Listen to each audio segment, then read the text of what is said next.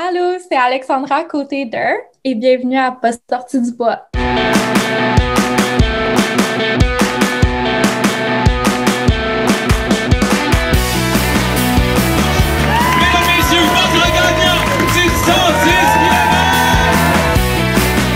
Si tu commences à te sentir bien en courant un ultramarathon, fais-toi-en pas, ça va passer. Grand champion du 125 km! Encore une fois cette semaine, l'épisode est présenté par NAC. C'est plus un secret pour personne, NAC est en train de changer la game en frais de nutrition pour les athlètes d'endurance. Que ce soit avec leur barre Ultra Énergie qui ont le parfait ratio 4 grammes de glucides pour 1 g de protéines ou leur poudre Ultra Recovery qui fait maintenant partie de ma routine d'après-course, NAC offre une gamme complète de produits faits pour toi. Si j'ai piqué ta curiosité que tu veux essayer leurs produits, NAC offre 15% de rabais à mes auditeurs. Va sur le nacbar.com, remplis ton panier, entre le code promo pas sorti du bois et le tour est joué P-A-S-S-O-R-T-I-D-U-B-O-I-S en majuscule. Merci à William, Nico et toute la belle gang de NAC et bon épisode. Ouais, ben, on n'est pas sorti du bois, hein? Bonjour tout le monde, bienvenue à Pas sorti du bois, épisode numéro 23. Aujourd'hui, je suis en compagnie de Alexandra Côté d'Eur. Comment ça va, Alexandra? Ça va bien, toi? Ça va très bien, merci d'être là. Donc, tu es photographe d'aventure, tu es passionné de plein air, alpinisme, course à pied, tu fais vraiment un peu de tout.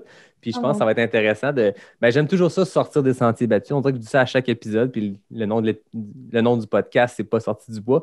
Mais j'aime ça, sortir de, de- du classique euh, raconte-moi ta course et tout. C'est intéressant, mais là, ça fait longtemps qu'on a eu des vraies courses au Québec. Fait que euh, j'aime ça diversifier puis rencontrer d'autres gens qui gravitent autour du monde euh, de la course à pied. Tu es une coureuse, tu es aussi une photographe qui a fait des shootings photos avec des coureurs.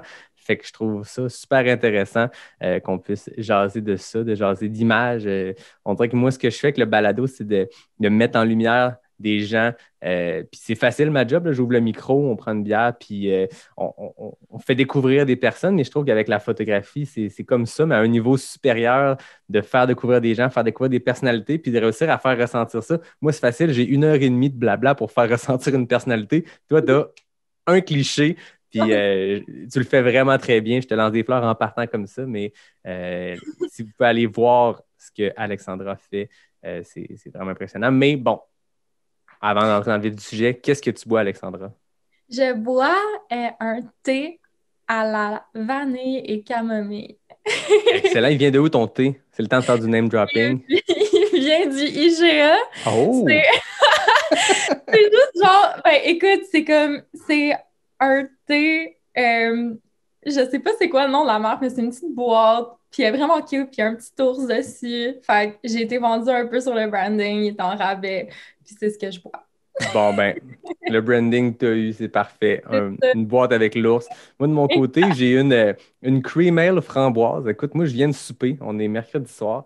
Euh, c'est parfait. C'est comme un dessert, une cream ale framboise de la bra- microbrasserie Knowlton Company. En fait, je remercie les boutiques Cheers à Montréal. Ça fait plusieurs fois que j'en parle à l'épisode. Vous connaissez les boutiques Cheers. Un dépanneur à bière pour les gens de Montréal avec une super sélection de bières de microbrasserie, des trucs exclusifs, des packs exclusifs.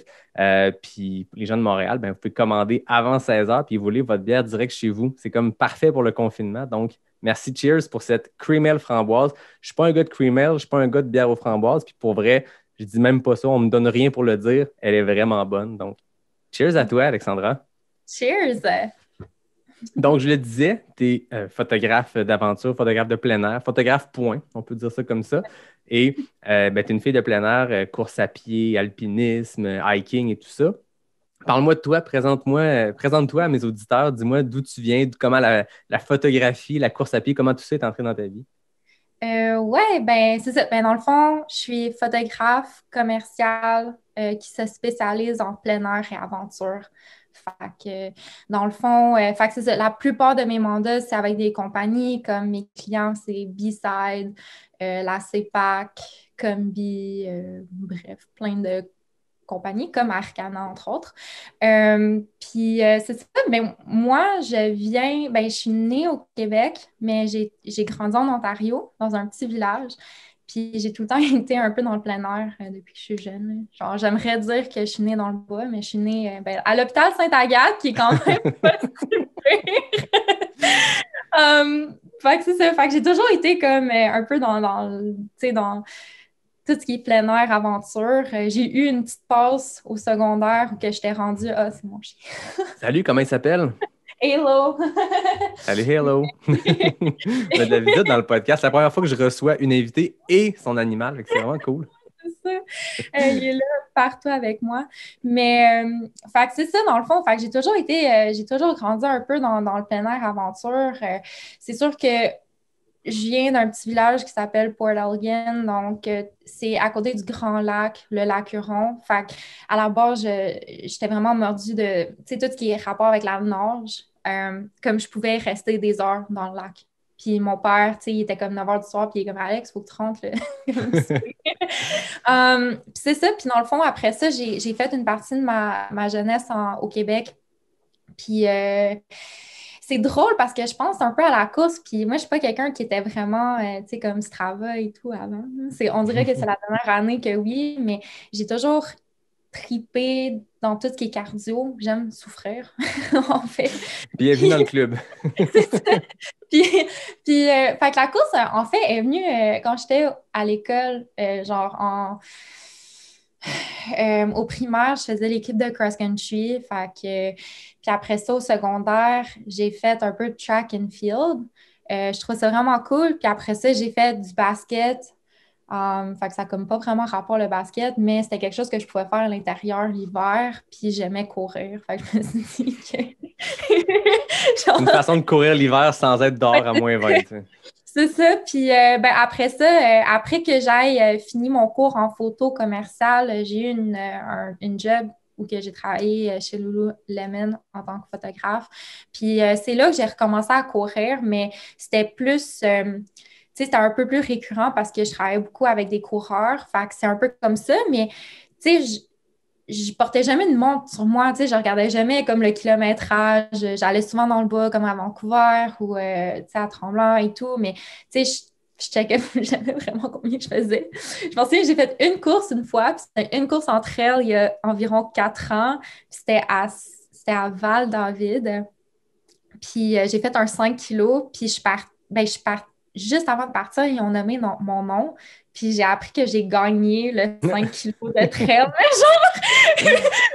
je comprenais vraiment pas. J'ai encore ma médaille. Je genre, ah ouais, j'ai gagné dans ma catégorie d'âge. fait que ça vraiment pas rapport. Puis, euh, mais je te dirais que c'est dans la dernière année que j'ai vraiment commencé à, à plus ou moins euh, m'intéresser à tout ce qui est ultra, puis la course en sentier, puis euh, vraiment un peu plus intense. Fait que là, je me suis inscrite à Strava, puis euh, j'ai genre commencé à comprendre c'était quoi, genre noter mon kilométrage, puis ben c'est ça. Puis euh, dans le fond, la photo, ben c'est un beau compliment parce que vu que je suis photographe d'aventure, ben souvent, euh, tu sais, je suis mes athlètes dans des environnements assez intenses. Fait que de pouvoir euh, faire de la course en sentier, ben ça m'a juste un peu rapproché à mon sujet. Puis, puis c'est ça. Fait à, à force de, de capturer des moments de course, tu Ouais. t'es dit, ben, moi aussi, je vais en faire. Puis Ouais. de là est venu l'intérêt. Mais c'est quand même un bon background de dire que tu as toujours été actif, tu as toujours bougé. T'as pas eu- tu savais pas quel kilométrage, quel temps tu faisais, puis c'est quasiment la meilleure chose. Moi, c'est ce que j'aime le plus, les entraînements où justement, pas de sel. Moi, en plus, je suis vraiment zéro Strava. Ça fait 11 ans que je cours, puis je mets 4 runs par année sur Strava. Puis j'ai juste une phobie de que mon nom soit pas pris en note à un ravito. Puis là, à la Ouais. fin, ils te disent Hey, t'as pas passé au ravito numéro 7, fait que t'es disqualifié. Puis je peux comme faire Hey, hey, voici ma run Strava. Mais c'est tout. Je fais juste. Mon Strava, c'est juste mes race days, c'est tout. Euh, mais c'est le fun d'avoir cette approche-là qui est, qui est plus naturelle. Puis ça fait que la première fois que tu vas à une ligne de départ, ben, tu gagnes le 5 km. Pour vrai, là, je- en tout cas, ça, ça m'a vraiment ébloui. là. Mon père qui était là, puis j'étais comme quoi? Je venais à job le lendemain, comme j'ai gagné, guys.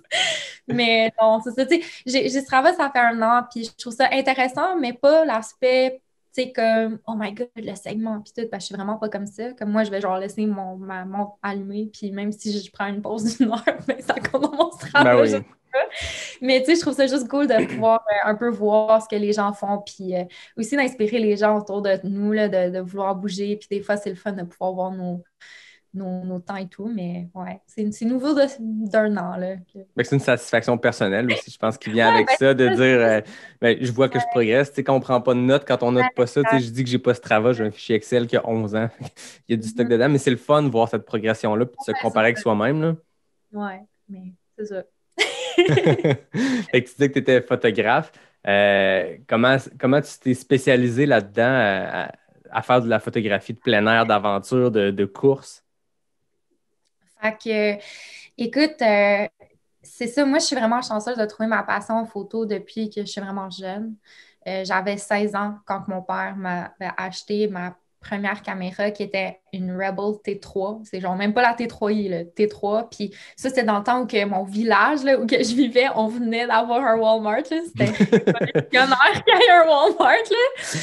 Fait que là, il m'a acheté un T3, euh, un T3, puis puis là, j'ai commencé à shooter puis prendre plein de photos. Puis moi, je suis quelqu'un qui a euh, beaucoup de problèmes en santé mentale. Fait que j'ai plusieurs maladies en santé mentale. Puis, euh, fait que pour moi, la photo, ça m'a juste ça m'a pu comme raconter mon histoire puis être autour des gens sans nécessairement devoir tout le temps jaser puis tout, puis juste comme connecter avec des gens. Fait que c'est ça. Puis mon père, un jour, il m'a dit euh, Écoute, pourquoi, euh, pourquoi tu fais pas euh, de la photo? Tu pourrais devenir photographe. Puis, tu sais, au début, je suis comme, ah, tu peux pas vraiment faire ça comme carrière. Puis là, il me sort tout son gros kit de caméra argentique. Puis il m'a dit, ben Alex, avant d'être pilote, je voulais être photographe. Puis il m'a tout montré ses vieilles lentilles. Puis là, j'ai commencé un peu à, trouver ça intéressant. Puis, euh, ben c'est ça, j'ai jamais arrêté. Ça a toujours été ma passion. Puis, euh, sais, je, m'en souviens, je suis allée au cégep parce que dans le fond, j'ai fait mon secondaire 5 au Québec. Puis là, il fallait que je rentre au cégep. Mais je savais que je voulais être photographe. Fait que je suis rentrée au cégep en théâtre. Je sais pas pourquoi. Honnêtement, les gens me le demandent. Je suis comme non, mais, mais j'ai vraiment pas toffé. Puis ça a pris deux semaines. Puis j'étais dans un cours de philo. Puis j'étais genre non, puis je suis partie à ma pause, je suis même pas allée à mon casier pour vider mon casier. Comme j'ai juste parti, puis j'ai jamais revenu. Puis j'ai dit, je veux être photographe. Je me suis inscrite dans un AEC de photo commerciale parce que mon père, il est vraiment conservateur. Puis là, il était comme, là, t'es plus au cégep, faut que tu fasses un cours fait, pour réussir dans la vie. Fait que je me suis inscrite à ça euh, au Collège Marsan. Euh, fait que ça, c'est à Montréal, puis c'est un ASC. La raison pourquoi j'ai pris ça, c'est que c'est tu peux le faire en 14 mois. tu peux le faire le plus vite possible. puis j'avais l'opportunité d'avoir une bourse d'études, fait que j'ai pu mettre cet argent-là là-dedans, puis m'acheter du bon équipement. Fait que j'ai fait ça. Puis, euh, mais à travers Marsan, j'ai vraiment piqué une curiosité avec tout ce qui est éclairage commercial en studio. Fait c'était comme mon petit moment bizarre dans ma vie où que j'ai comme passé à côté du plein air aventure, puis je suis restée comme un peu dans la mode des portraits. Um, ce qui est correct parce que ça m'a fait réaliser à quel point que j'aimais vraiment pas ça. Ben, c'est bon, des fois, il faut le faire pour se rendre compte qu'on n'aime pas ça. C'est parfait. Puis, euh, puis c'est ça, puis j'ai réalisé que j'avais encore plus euh, d'anxiété et tout face à être en ville. Puis, euh, um, tu sais, moi, dans le fond, j'ai été diagnostiquée avec, euh, ben, plusieurs maladies en santé mentale, je vais le dire. donc, anxiété généralisée, anxiété sociale, dépression chronique, mais aussi du stress post-traumatique. Fait que ça, c'est vraiment le plus grave. Et alors, il y avait un événement déclencheur traumatique dans ma vie alors, j'avais peur de sortir en public. Fait pour moi, la ville, c'est vraiment pas quelque chose, puis le studio, puis être avec plein de gens. Fait mais ce qui me faisait vraiment du bien, c'était d'aller en nature, puis euh, aller courir ou aller euh, juste en aventure avec ma caméra, euh, camping, peu importe. Fait que je me suis dit, ben, j'étais allée en ligne, puis j'ai appliqué à une compagnie qui s'appelle Lululemon. Fait que pour ceux qui ne connaissent pas ça, ben c'est une compagnie de yoga, course, plein air, ben sport, euh, basée à Vancouver. Puis j'ai été engagée. Fait j'ai travaillé là en tant que photographe. Puis euh, c'est là que j'ai réalisé à quel point je tripais avec la nature, euh, tout ce qui est à l'extérieur aussi. Oui, on faisait beaucoup de studios, mais particulièrement les shoots euh, avec les ambassadeurs de course et tout, tout ce qui était en lien avec l'extérieur, pour moi, c'était vraiment quelque chose que je tripais. Um, puis je me sentais vraiment plus calme. Fait que je savais que bon, il faut que je reste dans ce game-là. Um, puis je touchais quand même à de la mode, mais c'était de la mode, plus authentique, plus sport. Fait que ça, ça, ça allait bien avec qui j'étais. Puis j'ai travaillé là, puis après ça, ben, j'ai quitté, puis j'ai, euh, je suis partie à mon compte. OK. Fait que tu as commencé par Lululemon. C'est ça qui t'a comme donné la, la piqûre vers. Euh, c'est ça. Puis, tu sais, je te dirais, euh, Loulou, c'était vraiment une belle opportunité parce que j'ai beaucoup appris comment travailler avec des grosses productions. Euh, tu sais, je m'en souviens une fois quand on était à, Hawaï pendant une semaine, puis, tu sais, c'était fou, là. C'était de de trouver tous les endroits, mais aussi on était une immense équipe, producteurs, graphistes, vidéastes, etc. Puis j'ai vraiment, vraiment travaillé puis, euh, en équipe là-bas. Puis ça m'a vraiment permis de, quand j'ai quitté pour aller à mon compte, de comprendre un peu ce game-là, puis comment approcher mes clients, mais aussi un peu, euh, tu sais, comment travailler en grosse prod. Mm-hmm. Ouais. Je trouve ça intéressant ce que tu disais tantôt quand tu expliquais que la, photo te permet comme de, de sociabiliser ou est-ce que c'est comme une facilité? Parce qu'il y a une porte d'entrée dans la vie c'est je, te, comprends c'est hyper difficile de mettons voir un groupe de coureurs quand tu croises en sentier puis d'aller vers eux puis jaser. Là ils t'engagent pour un shoot ou tu shootes avec eux peu importe. Mais il y a comme ce lien là qui est créé de base de par le rôle photographe et euh, j'allais dire top modèle, mais euh, sujet, allons-y pour sujet. Ou top modèle, écoute, les coureurs, les coureurs, c'est des très belles personnes, on va se dire. Bien, bon. Euh, mais oui, écoute, tu sais, pour vrai, la photo, c'est. Mais tu sais, c'est drôle là, en ce moment avec la COVID, on n'a plus vraiment d'événements et tout, mais tu sais, c'est comme chaque fois que j'allais dans un événement, écoute, moi, je suis vraiment comme je parle pas, je suis dans mon coin.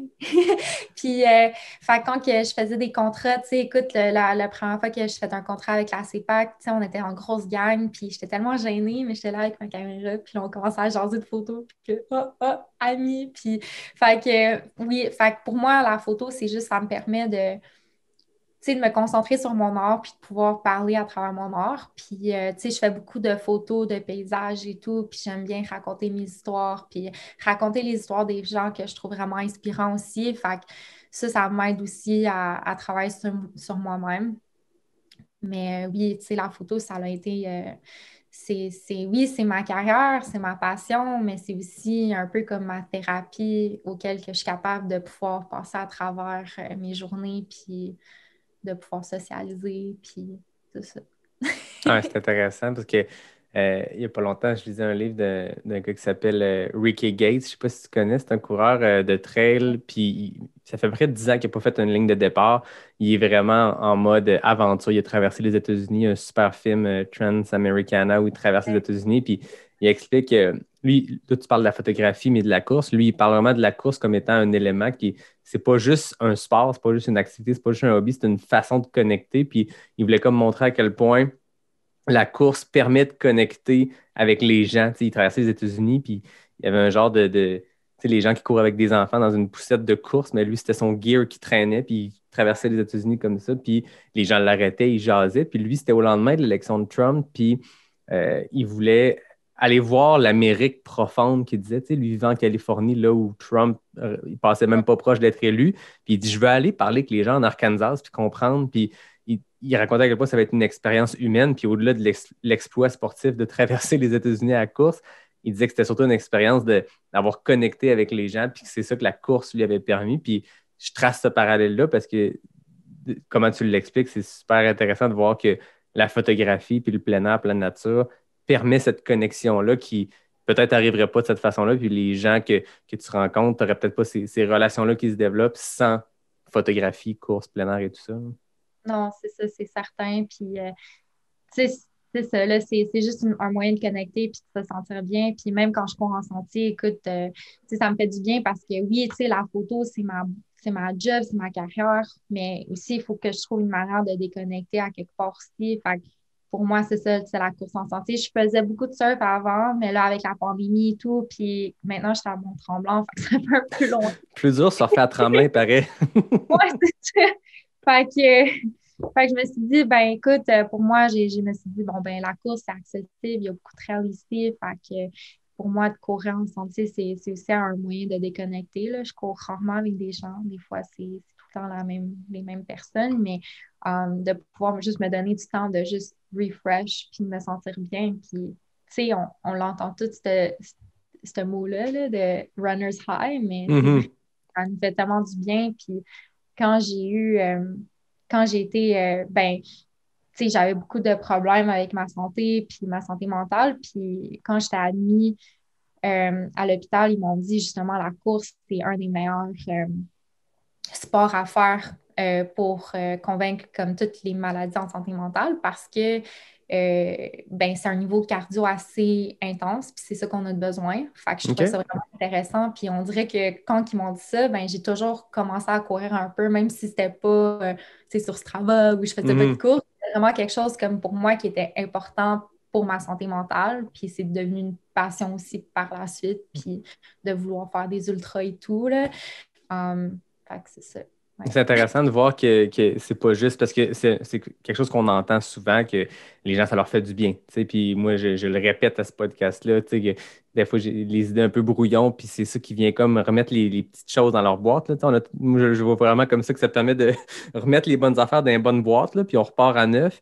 Mais c'est intéressant de voir que la science puis la médecine tu sais, corrobore avec ce qu'on dit des fois, Ah, c'est thérapeutique. C'est ma thérapie à aller courir. On entend ça partout. C'est cute, c'est beau, puis on le sent, c'est vrai, je suis 100% d'accord. Mais des fois, on se dit, OK, mais au-delà de ça, qu'est-ce qui l'explique? C'est le fun d'entendre que, que c'est vrai, que la médecine le dit. tu euh, c'est ça, tu sais, mon psychiatre, il m'a dit justement, il faut un minimum de 30 minutes par jour pour voir une grosse différence au niveau de la santé mentale. Mais si on n'est pas capable de faire 30 minutes par jour, ben de simplement faire euh, une heure de course cinq fois par semaine, ça va faire un gros, gros changement à, la santé mentale des gens. Fait que je ça vraiment intéressant, toutes ces statistiques-là, si on veut, parce que ça fait juste renforcer un peu toutes les connaissances que nous, on, on connaît un peu là, sur ça. Donc, euh, ouais.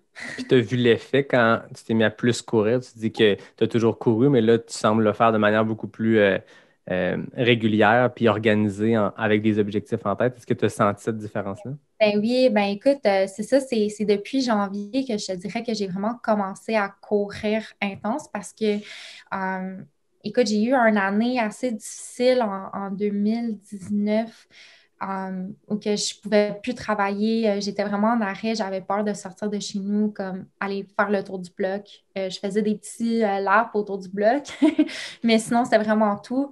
Fait qu'en janvier, je me suis dit, bon, ben, je vais recommencer. Entre autres, je me suis inscrite au Québec Mega Trail. OK. La COVID. Ça m'a donné un peu comme un but de, OK, là, il faut vraiment que je recommence à courir puis que je prenne ça sérieusement. Euh, finalement, bon, avec la COVID et tout, on n'a pas pu faire la course, mais, euh, mais ça m'a quand même permis à, me pousser encore plus loin. Puis, euh, tu sais, je ne suis pas déçue de tout ça. Puis, honnêtement, je continue à courir comme si j'avais une course dans un mois. C'est quelque chose qui est comme juste un peu stické sur moi. Puis, fait que, mais c'est ça, ça fait depuis euh, janvier dernier que je te dirais, j'ai j'ai vraiment recommencé. Puis oui, je vois une grosse différence dans mon humeur. Euh, même des fois, quand que je suis en manque d'inspiration, puis euh, tu sais, je fais beaucoup de travail à l'ordi, puis là, il faut que je parte pour penser à un concept photo pour mon client, ben, je vais partir courir en sentier deux, trois heures, je reviens, puis j'ai plein d'idées. Mhm. Ah. Fait que la plupart du temps, mes idées viennent quand je cours ou que je suis en plein air.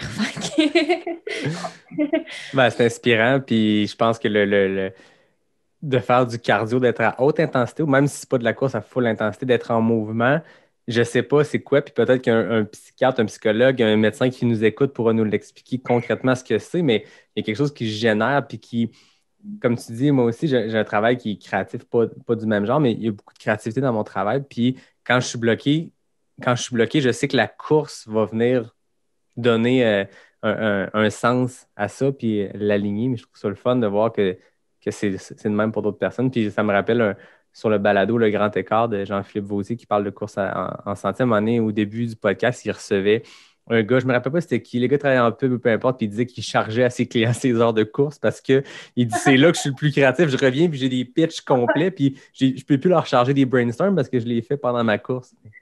Bon, Ah, c'est une exagération peut-être, mais je trouve ça intéressant de, de voir qu'il y a plein de gens pour qui c'est comme ça. là. oui, ben oui j'entends ça de, tout le monde. Puis souvent, mes amis qui sont comme Ah, là, je suis fatiguée. Va marcher ou va courir un petit cinq minutes, puis reviens, tu vas voir. Donc, euh, ouais. Tu étais inscrite à quelle euh, distance au Québec Megatrail? Le Québec Megatrail, je me suis inscrite aux 50 à cause du dénivelé. Je suis genre, ouais, je pense que genre, je vais faire les 50. Pas fort quand même. C'est sûr, ouais. Parce que, euh, Jean Fortier, le directeur du QMT, a dit sur ce micro que c'est probablement le 50K le plus difficile au Canada, puis je le crois pour l'avoir fait. Ouais, non, c'est ça, je le crois aussi. Puis avec toutes mes amies que, que je connais qui l'ont fait, ils m'ont tous dit euh, ouais. Euh, puis, tu sais, puis là, cette année, ben, 2021, je vais faire le 80 Arcana, puis sûrement le 80 Bromont, mais c'est à voir, là j'ai encore le temps. Arcana, c'est cool parce que j'ai pu la documenter. Fait que j'avais un mandat spécial de couvrir les trois élites de chaque catégorie. OK. Fait que ça, c'était vraiment cool. Puis euh, on dirait que à travers toute cette journée-là, ben, journée, c'était comme un 40 C'est ça que j'allais dire. Une longue journée. Oui, on était réveillés. Ben, nous, moi, dans le fond, mon cadran il était à 11 h du soir le vendredi puis on commence, ouais. Puis on a fini euh, le, sam ben, le dimanche matin à 1h du matin. J'étais arrivée dans ma chambre, puis là, il fallait qu'on se réveille à 8h pour aller faire le, les, les prix. Mais euh, c'était à travers tout ce périple-là que j'ai tellement, euh, tu sais, j'adore Arcana, j'adore le vibe. Sais, Marlene, c'est une personne incroyable. Puis euh, l'équipe média auquel j'ai travaillé avec, fait que moi, j'étais avec une équipe média spéciale, fait que ceux qui faisaient le vidéo puis tout le contenu pour les élites, pour World, World Trail. le, Ultra Trail World Tour. à deux, on va le trouver. fait que c'est ça. Puis écoute, tu sais, voir toute l'émotion de tout, puis de pouvoir documenter, euh, tu sais, du départ que j'étais dans l'autobus euh, du 125, puis de pouvoir documenter les, les coureurs dans leur euh, banc d'autobus à juste focuser au départ, au mi-chemin, au checkpoint, au ravito, jusqu'à la fin de les voir arriver, c'était vraiment, c'était beau. Ça me, je pleurais. je pleurais vraiment. Je pense que j'ai tellement pleuré quand Catherine Lermire a, a traversé la ligne d'arrivée. Puis euh, je pense que personne, on, s'attendait que ça soit elle non plus. Fait que. Euh, puis le lendemain, c'est ça, fait que allée aux remises des prix, puis j'ai parlé à Marine, puis j'ai dit euh, Écoute, Marine, l'année prochaine, je veux pas la photographier, je veux la courir. Puis elle me dit Écoute, je vais t'inscrire. Fait que OK, je vais faire la 80. Euh, mais c'était vraiment cool. Fait de pouvoir, euh, oui, le documenter puis l'avoir de mon point de vue, mais aussi de la faire après, comme pour cette année, puis de la, de sentir un peu les émotions que j'ai pu documenter, ça va être vraiment spécial. Puis j'ai hâte de voir euh, comment ça va se passer. Comme la continuité d'un cycle, de le vivre à travers ces élites-là, ces athlètes-là, et après ça de revivre à, un autre niveau intérieurement, d'être là sur place puis de, faire ces sentiers-là. Comment, comment vous faisiez pour, euh, pour justement suivre les élites? Parce qu'on sait qu'Aricana, c'est une course où euh, pas une course où il y a beaucoup d'accès. Il y a, d'autres courses plus faciles de rentrer sur le sentier à un moment ou à un autre. On, Les habitants sont éloignés, puis il y a une raison pour ça à Aricana, c'est bien profond dans le bois. Ben, comme je t'ai dit, écoute, euh, on avait une rencontre avant, on avait des rencontres sur Zoom aussi des mois avant, euh, d'essayer de voir un peu euh, les logistiques. on avait, fait moi, la seule partie que j'ai pas pu photographier, c'était le monde des Morios parce que mm-hmm. c'est quand même intense rendre là. Um, puis j'aurais pas pu faire ça pour me rendre voir les trois premiers, puis après ça repartir. Non, non, c'est. Fait, qu'on avait deux personnes qui ont campé la nuit d'avant, le vendredi soir. Fait ils ont campé, il y avait le radio, fait que nous, on avait les gros euh, walkie-talkies euh, vraiment intenses. Um, on a appris mi-chemin que le mien ne fonctionnait pas. fait que, puis, euh, fait c'est ça. Fait dans le fond, ce qu'on ce qu'on a fait, c'est euh, il y avait comme un peu notre, euh, notre producteur, productrice d'équipe qui nous, qui nous aidait, qui nous acheminait. On avait deux autos, on avait des quatre roues, on avait, je pense, quatre quatre roues. fait que, il y avait des bas, des, des points où que moi, je partais à courir en bas du trail. Puis, on savait que, OK, Elliot vient de partir là, fait devrait arriver dans environ une heure, deux heures. Fait que genre une heure pour te rendre. Là, tu arrives là, puis là, tu attends, puis c'est ça, c'est le waiting game. Tu pas de réseau, rien, fait que tu espères que tu es ton beau spot. Um, il passe, puis dès, dès que le troisième part, là, tu dois repartir en courant, tu repars, puis euh, tu prends le quatre roues, tu repars sur les petits chemins de gravel. Puis, euh, tu sais, je m'en souviens, il y avait un point où que, justement, il y avait un des assistants qui conduisait le quatre roues. Moi, j'étais en arrière, puis je chutais comme Guillaume Barry dans les trails. C'était vraiment sketch. j'ai jamais vu ça. J'ai jamais vu ça. Là. J'étais genre, oh my God, c'est tellement intense. Mais, euh, ouais, c'est ça. C'était assez particulier. Um, mais on a réussi. Puis euh, c'était vraiment cool. Puis là, à la fin, ben, c'était simplement attendre à l'arrivée, euh, qui était vraiment long. Euh, tu sais, les premiers gars de 125 comparé aux premières filles, c'était vraiment ben, C'est quoi? Ça s'est gagné en 13 h quelques, puis les, Catherine a fini en 20 h quelques. Ouais, c'est ça. Fait que c'était quand même vraiment long. Puis on avait, moi, j'avais pas, ben, on n'avait pas mangé, là. Je pense que je me nourrissais de bornac, j'avais des gourous. Puis là, mi-chemin, j'ai réussi à avoir une petite soupe d'un ravito, mais sinon, c'était comme. C'était on the go all the time. Là. Fait C'est quasiment une épreuve d'endurance en soi de faire la photo pour Alicana. J'étais fatiguée, rentrer dans ma chambre, je suis comme, oh my god, ok, là. Comme... Ça fait plus que 24 heures, là.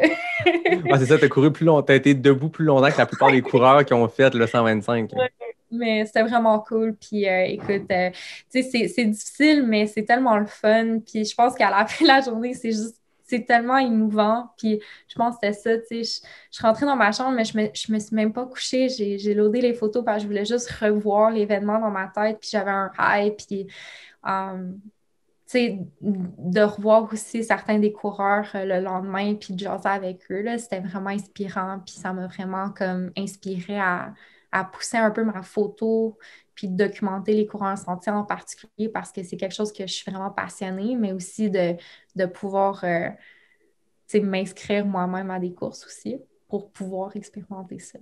Ben oui. c'est une longue journée. Y a-t-il des choses que tu as que tu as été témoin des, des souhaits. Des fois, c'est, tu dis que tu as fait l'autobus avec les athlètes, que tu as fait le départ. Tu les as vus à plusieurs moments. Y a-tu des, des, des, apprentissages que tu as fait là-dedans ou juste des, choses que tu as vues? Tu te dis, OK, je suis privilégié d'être là, d'être seul dans le bois puis d'être témoin de ce qui se passe? Ben, je pense que le plus beau moment que j'ai vu, là, puis ça, c'était vraiment à l'arrivée quand euh, David a, traversé la ligne d'arrivée. J'étais là, c'était moi qui shootais quand il traversait, puis que sa femme, puis son enfant, puis euh, je pleurais. Puis j'étais vraiment juste là, puis j'ai des frissons quand j'en parle. c'était vraiment émouvant parce que, écoute, je pense que ça fait quatre fois qu'il essaye. Euh, mm. c'était c'était tellement beau à voir. Puis je pense que ça, c'était vraiment le plus beau moment. Puis c'était de voir, euh, tu sais, de le voir finalement remporter, puis de voir sa famille là, je pense que c'était vraiment beau. Euh, mais sinon, tu sais, je m'en souviens, il y avait la dernière fois où j'ai vu Alicia Garside, c'est ça? Euh, puis elle, on pensait que c'était elle qui allait gagner. Fait que c'est la première fois que je l'avais vue. je m'en souviens plus exactement, j'étais où dans le sentier, j'étais vraiment en creux.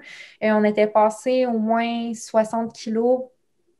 Puis euh, tout le monde avant elle avait l'air à souffrir, puis souriait pas. comme c'est genre, je prenais des photos, puis j'étais comme, pauvre toi. Les gens sont bien dans le creux. C'est ça. Puis euh, elle, elle part, c'était la première fille, dans le fond. Euh, 125, puis elle, arrive, puis elle souriait, le gros sourire dans le visage. Elle vient de Vancouver, fait qu'elle est anglaise, puis euh, on savait jaser un peu avant, fait qu'on, savait que je suis anglaise, puis je suis like, thank you so much, puis je suis là, oh, you're welcome, puis tu sais, on est reparti, puis, mais tu sais, le plus gros sourire de toutes les gens que j'ai vus avant qui souffraient, qui avaient vraiment sérieux, fait que je trouvais ça vraiment beau, là, aussi, là, de voir que malgré la souffrance de pouvoir voir le sourire des gens, c'est vraiment cool. Oui, oui. Puis ils disent que le sourire, ça peut faire la différence de se forcer à s'en mettre en face. C'est euh, Hal Corner qui, moi, je pense, le livre, parmi tous les livres de trail, je pense le meilleur, c'est celui de Hal Corner parce que c'est vraiment un guide. C'est un field guide for ultra running. Ouais. ce livre-là est parfait. je veux dire, tous les autres sont intéressants, c'est inspirant. J'ai relu euh, celui de, de Johan Rock parce qu'il sort son deuxième bientôt. tu sais, tu lis le livre, tu as des frissons, c'est impressionnant.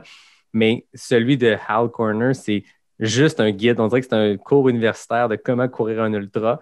Puis il dit, puis Hal Corner est connu dans la communauté pour être le gars qui, souffre, qui est sur le bord de DNF à Western State en 2010, puis qui a le gros sourire au ravito, mais il dit lui-même dans son livre, ça a un effet pour vrai, c'est le meilleur des trucs pour se sortir du creux.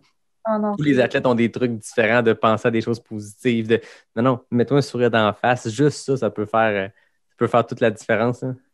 Oh non, c'est fou, là. C'est euh, ben, scientifiquement prouvé aussi que juste sourire, ça, ça dégage tellement de, de sensations dans la tête, justement, pour être euh, heureux, là, puis plus heureux malgré la souffrance. non, non, c'est ça. Oui, ouais. Mm, c'est le fun de voir ton, ton, expérience de photographe. Ça se rapproche un peu à un autre niveau que les gens qui, qui font du, du, crew ou surtout du bénévolat un ravito. Euh, n'importe quel coureur a une histoire d'un bénévole, un ravito qui a dit quelque chose, qui a fait quelque chose, qui a changé une course, puis qui a complètement ramené du positif dans une course. Mais il y a ça aussi, puis c'est le fun d'être euh, témoin de ce qui se passe dans une course extérieurement, euh, là dans ton cas, c'est photographe, c'est trippant parce que tu es là, tu essaies de capturer les émotions, mais je pense que quelqu'un qui fait du, bénévolat peut euh, revivre un peu ce, truc-là. Puis les gens qui écoutent, euh, on veut tous s'inscrire à toutes les courses qu'il y a au Québec, hein, mais on ne peut pas. Physiquement, il faut prendre des breaks, mais si vous voulez aller faire du bénévolat à n'importe quel événement, moi, ça, j'ai, adoré, j'ai adoré ma journée au Transvalley il y a deux ans, plus que bien des courses, de journées de course où tu es dans le dur et tu n'as pas de fun. Là, j'ai du fun de A à Z. C'est trippant faire euh, du bénévolat ou juste être présent à une course. Hein. Ah ouais, ou juste être un pit crew pour un projet comme un FKT. Comme moi, euh, j'ai eu la chance de documenter euh, l'essai d'Eliott Cardin en Ah, ok, t'étais là? Ouais. Très cool. tu sais, j'ai trouvé ça vraiment comme c'est ce projet-là auquel j'ai vu à quel point que tous les bénévoles, pit crew, les pacers, ils étaient. C'est un support incroyable pour Elliott. Puis sans ces gens-là, écoute, euh, on n'aurait pas pu tirer quelque chose d'aussi intense, malgré qu'il n'a pas réussi. Écoute, il y avait plein de problèmes comme la température était pas de notre bord et tout, mais c'était vraiment incroyable, puis c'était inspirant, puis um, ça m'a fait réaliser à quel point que, on, on dépend de ces gens-là. Puis eux, ils, viennent, puis ils dévouent un, nombre d'heures, des jours, même une semaine pour euh, se préparer à, pouvoir nous aider cette personne-là qui va faire un goal. Fait que je trouve ça vraiment inspirant. Puis euh, on dirait que j'ai pu documenter tout le, arrière-scène de, de cet euh, essai-là. Fait que c'était vraiment intéressant de pouvoir voir toute la gang, euh, le soir, là, à, boire du vin, puis regarder les maps, puis là, OK, là, ça, c'est ça, puis... Puis simplement de vivre l'expérience aussi. Il y avait beaucoup de péripéties. J'en doute pas. T'as-tu des, des scopes pour nous, des bonnes histoires? Oh, J'allais dire, t'aimes vraiment ça, photographier des sportifs dans des situations extrêmes, parce que non seulement t'es dans le bois, mais Arikana, c'est profond dans le bois, mais là, les chic-chocs, pour ceux qui ne savent pas, Elliot, cet été, il a oh, tenté une traversée des, des chic-chocs pour un, pour un FKT, un fastest known time, puis ça n'a pas marché, mais les chic-chocs, c'est profond profond. Oh, c'est dur aussi, là. Écoute, euh, il y a tellement eu de péripéties sur ce voyage-là. Je suis habituée de faire beaucoup de, grosses expéditions, euh, mais celle-là, elle, a été vraiment, euh, vraiment moi, j'ai trouvé ça assez drôle, peut-être pas dans le moment. Il y avait des moments où j'étais comme fâchée, puis je pouvais pas contrôler mes émotions, mais tu sais, on est parti à il était minuit, on est parti, puis euh, déjà en partant pour la réserve phonique de Matane, euh, le frère Aya t'a pogné un flat. Fait que, ça, fait que là, on est là dans le bois, genre à comme une heure, deux heures du matin. OK, là, il faut changer. Puis c'était compliqué parce que la roue voulait pas tomber. Fait que, ah, puis là, finalement, on a réussi. Là, après ça, on était en retard pour le départ. Puis bref, là, le départ est parti. Puis nous, c'était vraiment, tu sais, les logistiques à, en Gaspésie, c'est comme, c'est un autre monde. Fait euh, on avait nos vélos de montagne, puis il y avait comme des spots où on disait, OK, ben on sait qu'il va passer dans ce ravito-là. Fait comment se rendre, on va prendre ce sentier-là, mais c'est un sentier comme c'est pas un sentier tapé. c'est pas un sentier de vélo de montagne. C'est un sentier comme un single track technique qui est tough à passer en course là. Fait que déjà moi, euh, tu sais, ça faisait peut-être deux mois que je faisais du vélo de montagne, tu sais, j'ai commencé à m'entraîner parce que je savais que ok là, ça allait être demandant, puis euh, oh, j'ai tout, puis avec toute notre gear photo, puis tout, puis arrivé au, ravito, puis là j'étais toute désorganisée, fatiguée, puis Là, on attend, puis on est comme, man, tu passé, là? On attend, là, ça fait quatre heures, OK? Puis là, il passe, puis je te jure, ça prend deux secondes. Tu sais, il arrive, il prend ses trucs. Moi, ma caméra doit être prête. Faut que j'aille lâcher. il part, il part. Puis après ça, ben, c'est comme, OK, ben là, on reprend nos gears, notre vélo, on repart à course. Puis là, on s'en va à l'autre ravito. Là, on voit la crew. Là, on se dit, OK, bon, ben, on va se rendre.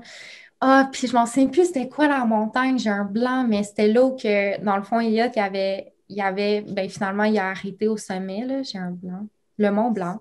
Le Mont Blanc. Je sais qu'il y en a un en Gaspésie, ah, dans le coin de Percé. Ouais, c'est ça. Fait je pense que c'était. Ben, c'était pas dans le coin de Percé, mais c'est vraiment dans le Mais il me semble que c'était. Bon, en tout cas. C'était. Un, un, mont quelconque. C'est ça.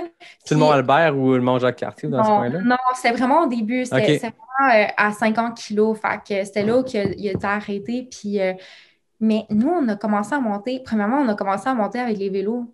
Mais c'est comme. C'est une montagne, là. Genre dans les, dans les chic-chocs.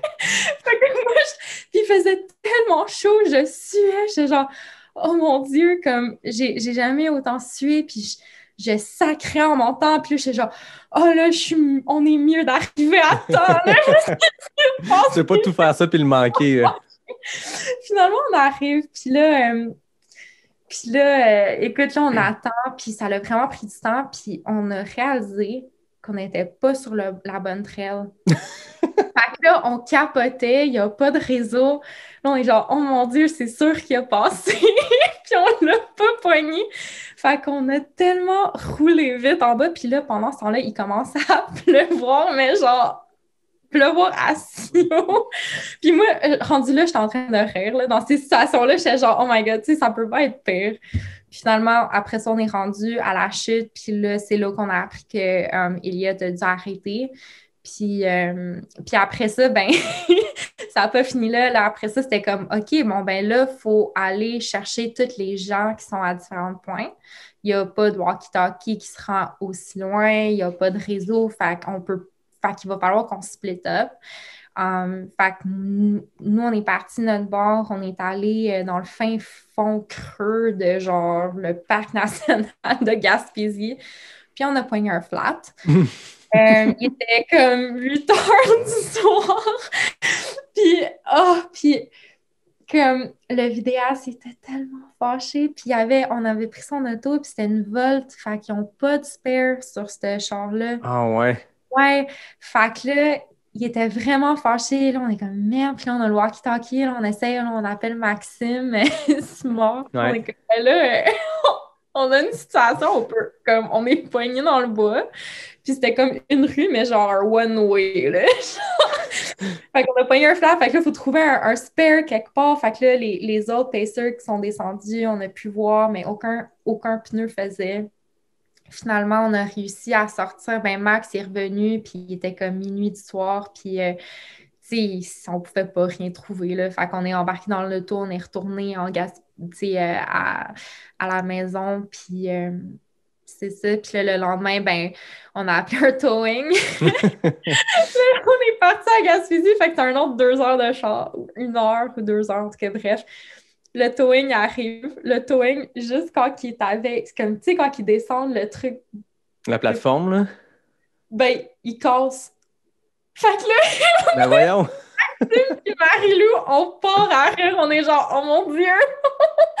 Comme, non! Fait que là, il fallait appeler un towing pour tourner le towing, puis après, puis après prendre une auto, euh, un towing pour tower notre auto au Canadian Tire à Matane. Ben voyons donc. Ah, c'était vraiment quelque chose. Fait que... Mais c'était drôle. moi, j'étais quand même crampée à la fin. J'étais genre, ben le check. Il n'y a plus rien de pire qui peut arriver. Là. oh, mais rendu là, qu'est-ce que tu veux faire d'autre que de rire? Ça, ça sert à rien de te fâcher. Puis... On, va, on, va, passer à travers, puis c'est tout. Puis ça va juste faire une pire voyage. Puis, euh, mais mais c'était vraiment drôle comme aventure. C'était une grosse expérience. Puis, euh, je pense qu'on ne s'attendait pas tout que ça allait arriver comme ça, mais moi, c'est ça que j'aime des expéditions et des projets comme ça. on y va parce qu'on sait qu'on ne va pas être payé, on sait que, on va, que ça se peut qu'ils ne réussissent pas. Puis on doit être correct avec ça, mais c'est de pouvoir le faire quand même, puis de supporter cette personne-là, puis l'équipe, puis de pouvoir prendre part dans un projet comme ça. Um, c'est juste une incroyable, c'est une expérience incroyable. J'ai rencontré des gens euh, tellement inspirants, autant que les pacers, comme Arim, il paissait, puis euh, c'était vraiment intéressant de pouvoir jaser avec lui. Puis euh, um, écoute, j'ai des amis maintenant que j'ai rencontrés pendant cette expédition-là, puis ouais, je, je, le, je le regrette pas. Ben non, mais c'est des, des, expériences comme ça. Puis ça fait c'est la, il y a une part de risque quand tu tentes un FKT. Puis cette année, particulièrement, beaucoup de gens ont tenté des FKT, puis beaucoup de gens ont échoué des FKT parce que c'est difficile ces, ces choses-là. Puis euh, cette année, ben, avec l'absence des courses, l'annulation des courses, ben, tout le monde s'est mis à faire ça. Donc, c'est sûr qu'il y a une part de risque que ça ne marchera pas. Puis je pense que ça fait partie de la beauté de la chose aussi, puis de vouloir y retourner, puis de réessayer, puis il y a une détermination là-dedans. On, le voyait tous dans le visage on n'osait pas, c'est dur sur le mental, je peux pas imaginer à quel point que ça a dû être euh, difficile d'avaler un peu puis de dire bon ben j'ai pas pu continuer, mais il est tellement inspirant de pouvoir simplement décider de le faire. Puis les chic chocs, c'est vraiment intense comme, comme terrain de jeu aussi. Fait faut, faut se donner ça. Puis écoute, la température était vraiment pas de notre bord. Il a plu, il a fait vraiment froid, comme il a fait vraiment chaud. Fait, ça n'a juste pas à donner, mais c'était tellement inspirant. Puis, euh, je pense que tout le monde autour de nous, on, était tellement fiers de lui. Écoute, euh, c'était il va revenir, il va le refaire, puis il va torcher. Là. Ben tu, le vois, tu le vois le feu dans ses yeux, puis tu sais qu'il y a plein d'autres projets comme le Western States l'année prochaine et tout. Fait c'est comme c'est incroyable. Puis je sais que c'est juste le début. Il est jeune aussi dans, dans l'industrie. Il vient de rentrer. Fait,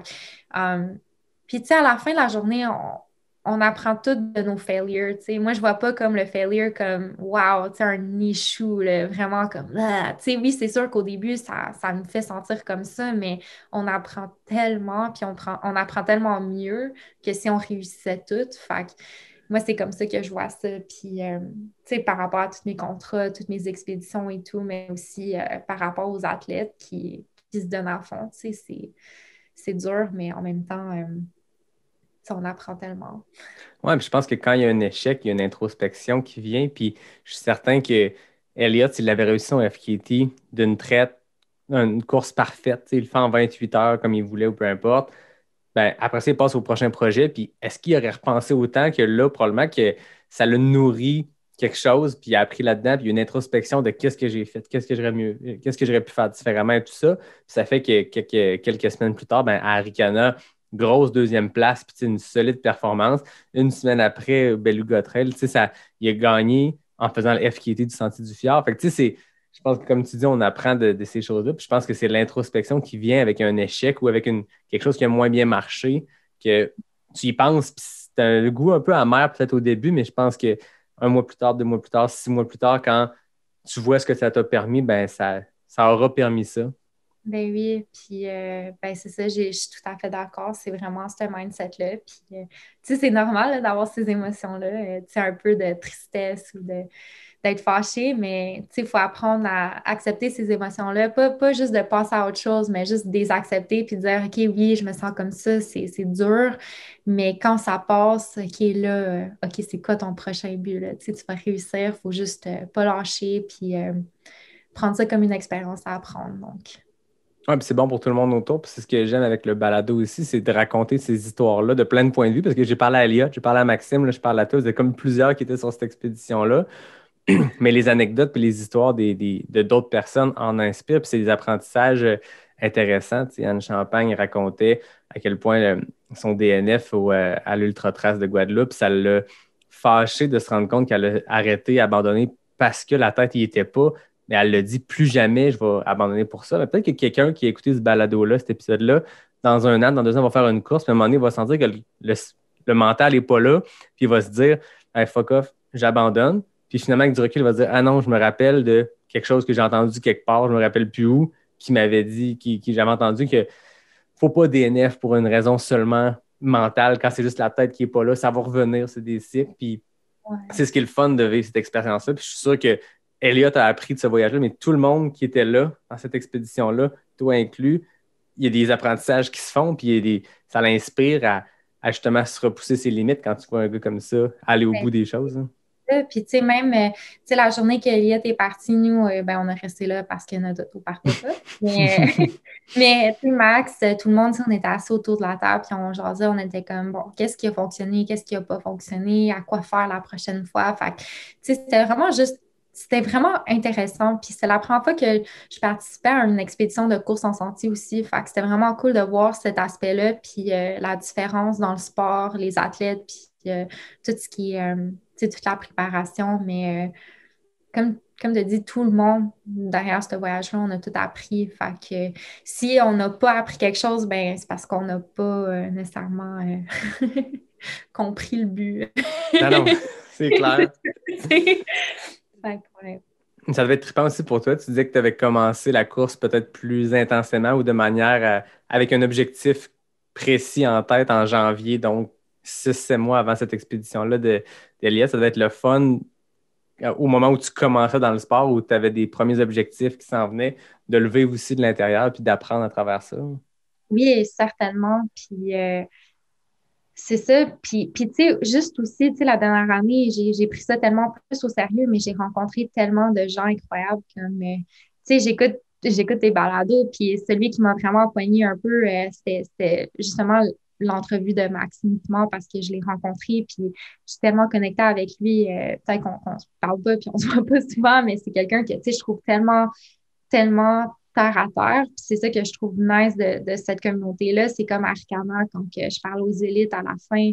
Euh, ah, tu sais, je parlais avec Catherine, puis je disais, ah ouais, j'ai mon, j'ai mon Québec Megatrail qui était censé être dans un mois. Ouais on a jasé, puis tu sais, on a échangé nos numéros de téléphone, puis euh, écoute, on, se connecte sur les réseaux sociaux. Fait puis tu sais, elle, continue de, m'encourager, puis je trouve ça vraiment cool. Puis euh, tu sais, j'ai. Tu sais, la course en trail, tu sais, c'est comme, c'est un aspect vraiment nouveau en photo que, tu sais, oui, j'en photographiais avant, mais là, dans la dernière année, j'ai vraiment pris une grosse, comme, comme comme piqûre là-dedans. Um, mais la raison, c'est la communauté. Puis, tu sais, je surfais beaucoup avant. Fait que c'était un peu la même communauté. Je trouvais que le surf puis la en sentier, tu sais, c'était chaleureux. On peut se pointer quelque part puis pas se sentir comme si on n'est pas à sa place.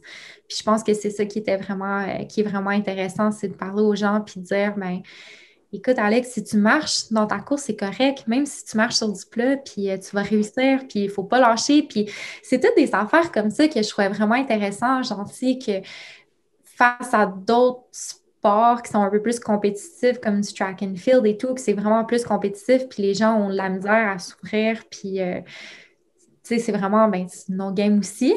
Um, c'est ça que j'aime de la trail, c'est juste un, c'est une famille. Puis moi, je suis enfant unique. J'ai, pour moi, c'est tout le temps trouver cette genre de communauté-là où que je peux bien me sentir. Puis euh, la, la trail, ben, tu sais, oui, ça fait peut-être la dernière année que je prends ça plus au sérieux, euh, autant que pour moi en course, mais aussi en tant que photographe de documenter ces athlètes-là. Mais c'est certainement euh, quelque chose que je vais, je vais, je vais continuer dans les prochaines années aussi. Là. Mais, euh, tu sais, j'ai tellement rencontré des gens incroyables. Mais entre autres, tu sais, Antoine, tu sais, qui a gagné le 80 kilos, qui est comme athlète en tri. Puis, tu sais, on a commencé à shooter beaucoup cet été. Puis, comme c'est quelqu'un qui venait de commencer en trail. Puis, je m'en souviens, je l'avais fait à pied un mois avant l'Arcana, puis il était tellement nerveux. J'étais genre, mais non, mais inquiète-toi pas. tout va bien se passer. Puis le voir arriver aussi, fait que j'avais tellement d'amis qui ont passé euh, la, la ligne d'arrivée à Arcana. Fait juste trop beau de pouvoir comme revoir ces gens-là, leur donner un gros câlin, puis être comme wow, puis de prendre une photo, puis leur envoyer après. Puis, fait ouais, non, c'est vraiment une belle communauté. Puis, euh, tous les gens derrière sont incroyables. Que ce soit les bénévoles, que, mettons, Marine qui organise Arcana, que ce soit Max qui est rep pour euh, Mhm. Euh, technique pour euh, On ou euh, ma gang chez Arctérix, c'est c'est vraiment intéressant comme Martine est, avec euh, Arctérix. C'est vraiment cool de pouvoir voir euh, tous ces gens-là qui, euh, qui supportent. Il y a une espèce de solidarité à l'intérieur de cette communauté-là qui, Ouais. moi, j'ai pas retrouvé ça ailleurs. J'ai pas vu ça ailleurs. Puis, tu sais, je pense qu'on on a tous un peu un background similaire où, euh, tu sais, le- notre parcours scolaire, primaire, secondaire, même cégep, c'est teinté de cette espèce de sentiment de compétition-là, puis cette, euh, cette intimidation-là qui est là, que, que tout le monde a fini par vivre, à, à- par vivre, puis même ceux que tu pensais à ton secondaire qui étaient un peu bully, tu te rends compte qu'ils ont été intimidés par d'autres. Puis il y a cette game-là qui joue, qui est hyper euh, toxique. Puis rapidement, tu te rends compte que dans la vie adulte, tu te fais dire, ah non, mais l'intimidation, c'est plate maintenant, mais rendu plus vieux, ça n'arrivera plus. Non, fuck off. L'intimidation se poursuit, puis cette compétition-là, puis à la limite, est pire à l'âge adulte parce qu'il y a une espèce de toxicité, puis de non-dit, puis de visage à deux faces qui se retrouvent, sais. Ouais, c'est ça, c'est beaucoup de comparaisons. Tu sais, je travaille Ouais. beaucoup dans l'industrie des arts. Fait que moi, euh, tu sais, je, je suis beaucoup touchée avec ça, euh, dans le sens que, tu sais, j'ai- quand même, tu sais, un gros following sur les réseaux sociaux. Fait que, tu sais, ça vient où qu'il y a beaucoup de gens qui, euh, sais, qui se comparent à d'autres, qui se puis je reçois des messages comme ça, tu sais, ah, je suis pas assez bonne, je suis pas assez. C'est comme, non, on commence tout à quelque part. Ah oui. si on continue à, de, de, de, de se comparer aux autres, c'est comme si je me comparais à Eve. comme, je peux pas me comparer à Eve. C'est de ça, ben oui, tu sais, on est un peu dans le même domaine. Par contre, on a toutes nos, nos, petites manières d'être uniques, puis, de, de passer la, la comparaison qui peut faire slash compétition souvent, um, puis de se dire, écoute, ensemble, on va travailler ensemble, puis tout le monde a leur, euh, leur spécialité, puis on va s'entraider, s'inspirer, puis c'est ça le but. Um, c'est ça que je dis à, tous les gens qui m'écrivent souvent, c'est certainement de ne pas lâcher. Puis je pense a aussi, tant que tu sois authentique, tu travailles fort, puis tu. euh, puis, euh, puis, puis tu es authentique envers toi-même, ben c'est ça qui est plus important. Puis moi, ça a toujours été un peu comme mon mantra, c'est faut que tu travailles fort, faut que tu sois authentique, puis il faut que tu sois passionné. Um, S'il manque un des trois, c'est sûr que tu n'y arriveras pas ou tu le fais pour les mauvaises ra- raisons. Um, fait que moi, c'est tout le temps quelque chose que j'ai en tête quand j'accepte un contrat ou quand que je vais photographier quelqu'un ou même quand je cours à tous les jours. Tu sais, c'est comme, il y a des jours que je vais courir 100 kilos puis ça va être vraiment dur, comme d'autres que je vais courir 20 kilos puis ça va être vraiment facile. Fait je pense que c'est comme dans la vie de tous les jours, en fin de compte, là, ou euh, sur les réseaux sociaux, parce que c'est vraiment ça. En ce moment, les gens, euh, on est tous sur les réseaux sociaux, puis euh, on voit un gros problème au niveau de la santé mentale des gens, justement, qui, qui commencent à, à stresser, d'avoir beaucoup d'anxiété à cause que sont tellement préoccupés par ce que les gens pensent de eux, Mm. et de simplement être toi, puis de le faire. Um, il va tout le temps avoir quelqu'un qui ne sera pas d'accord ou qui ne vont pas nécessairement t'apprécier. Um, ça, c'est correct. Puis si c'est normal, parce que sinon, ça ne serait pas normal si tout le monde t'aimait. Um, puis aussi, à quelque part, ça veut dire que tu fais quelque chose de bien. Fait que moi, c'est un peu comme ça que je vois euh, ma vie tous les jours, mais aussi dans ma carrière en tant que photographe d'aventure, mais qui est incroyablement compétitif, mais aussi euh, dans mes courses, puis euh, quand je cours en sentier. Ouais, puis c'est la communauté trail, tu l'as dit, puis tu disais que tu avais vécu ça un peu aussi avec la communauté en, surf, mais il y a ça que, que, que moi, m'a vraiment, ça m'a vraiment frappé fort quand j'ai commencé en trail, c'est que c'est comme le seul endroit ou un des rares endroits où il n'y a pas cette compétition-là, tu sais, puis c'est, ne serait-ce que de dire que des élites finissent ensemble main dans la main, puis que les, entre, les, les, les directeurs de course ajustent les temps pour s'assurer que s'il y en a un qui est passé un centième de seconde avant l'autre, il ne soit pas premier puis l'autre deuxième, puis de dire non, ils ont fini ensemble. Juste ça, c'est un bel exemple de tout ce qui est la communauté trail.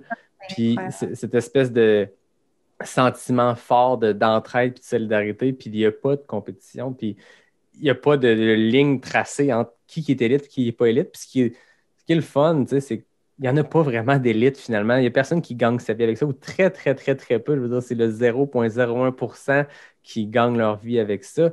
Est-ce que c'est ça qui fait que la communauté est aussi forte ou c'est juste le fait qu'on est du monde qui aime courir, puis se dépasser, puis se faire mal, puis être dans le bois? C'est peut-être juste ces éléments-là que quand tu as toutes ces caractéristiques-là, tu es nécessairement quelqu'un qui a envie de, participer à quoi qui est plus grand, qui, puis avoir un sentiment de solidarité. Mais il y a quelque chose dans la communauté trail, dans la communauté de course en sentier qui ne se décrit pas. La preuve, ça fait 10 minutes, j'essaie de mettre des mots là-dessus, puis je ne le trouve pas. Mais cette espèce de solidarité-là, puis tout ce que tu viens de décrire, que la compétition existe. Oui, il y a un classement à la fin, mais le monde entre elles, ils s'en foutent complètement. je parlais avec Richard Turgeon qui, qui a full expérience là-dedans, qui a fait des gigas ultra, puis le gars, il raconte que lui, il court quasiment pour courir avec ses chums puis boire une bière après la course. la course, c'est comme juste un, comment dire, une, raison pour faire tout ça, je trouve ça beau, c'est ça qui est inspirant. Puis de parler avec une Martine, qui, qui fait des choses exceptionnelles, puis dans la communauté de trail, Martine est aussi inspirante que Anne Champagne qui gagne des courses. Puis ils n'ont pas les mêmes temps, ils n'ont pas la même vitesse. Mais fuck, Martine a fait des 330 kilos, puis il n'y a personne qui fait ça dans la vie. Martine, c'est une inspiration pour plein de monde. Puis je pense que c'est tellement des exploits exceptionnels, peu importe le niveau, peu importe le temps que tu le mets. quand tu passes 160 km, c'est déjà un exploit, puis ça inspire les gens, puis il y a une humilité qui vient avec ça. Fait en tout cas, tout ça pour dire que que, c'est beau ce que tu racontes par rapport à cette communauté-là. Puis c'est le fun de, le sentir que tout le monde a ce feeling-là.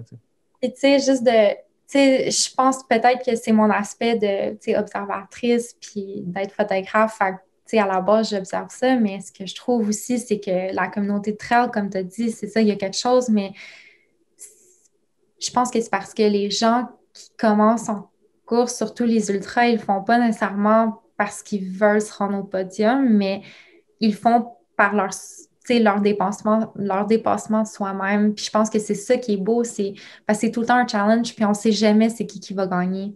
Euh, ça pourrait être n'importe qui. Puis on l'a vu à Arcana avec euh, um, au 125 des filles, tu sais.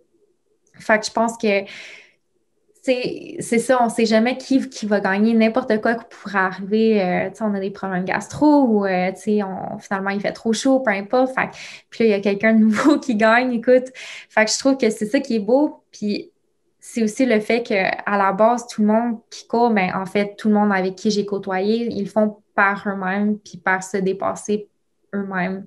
Puis je pense que c'est ça qui est beau. C'est pas c'est pas de se rendre au podium. C'est sûr que oui, à quelque part, quand on est élite, mais encore une fois, on peut pas nécessairement se comparer à, mettons, les gens élites qui font ça de leur vie parce que ils font ça de leur vie. leur job, c'est de prendre soin de leur corps puis de s'entraîner, mais je trouve ça tout aussi inspirant de trouver quelqu'un qui va courir euh, des ultras, mais qui a une job 40 heures par semaine, euh, qui travaille en bureau, qui doit se trouver le temps pour aller s'entraîner pour pouvoir aller courir. Moi, je trouve ça tellement inspirant également. Fait y a comme. C'est. C'est juste une belle communauté, puis tout le monde a de la. Euh, tout le euh, se mélange bien ensemble. Puis, euh, j'ai jamais rencontré Anne Champagne. Ça serait vraiment un rêve pour moi de, la photographier en fait. Ça fait longtemps que je la suis, puis je trouve ça tellement inspirant ce qu'elle fait. Euh, en écoutant aussi sa balade, son balado, tout ce qui est rapport avec euh, elle, puis sa santé mentale, puis comment qu'elle a. C'est dur pour quelqu'un à ce niveau-là de se dire bon, ben, je vais rentrer en une course, puis je pense que tout le monde va penser que je vais devoir gagner. C'est vraiment intéressant de voir cet aspect-là, puis de dire ben, écoute, ne faut pas penser à ça parce que n'importe quoi pourrait arriver. Puis si on continuellement essaie de se dire bon, ben, il faut que je gagne euh, ou tu te compares ailleurs, ben, oublie ça. Là tu, ne réussiras pas, puis tu vas être trop anxieuse, puis tu n'auras pas le fun. Ah non, exact. pas fun at all. la pression peut être là, mais une jour, le, moment que le, la course part, tu y vas, puis c'est tout. Mais là, euh, je trouve ça intéressant. Tu dis que ton rêve, c'est de photographier une champagne. Moi, je le sais qu'Anne est une auditrice assidue. Anne, d'habitude, écoute l'épisode dans la première journée ou la deuxième qui est mis en ligne.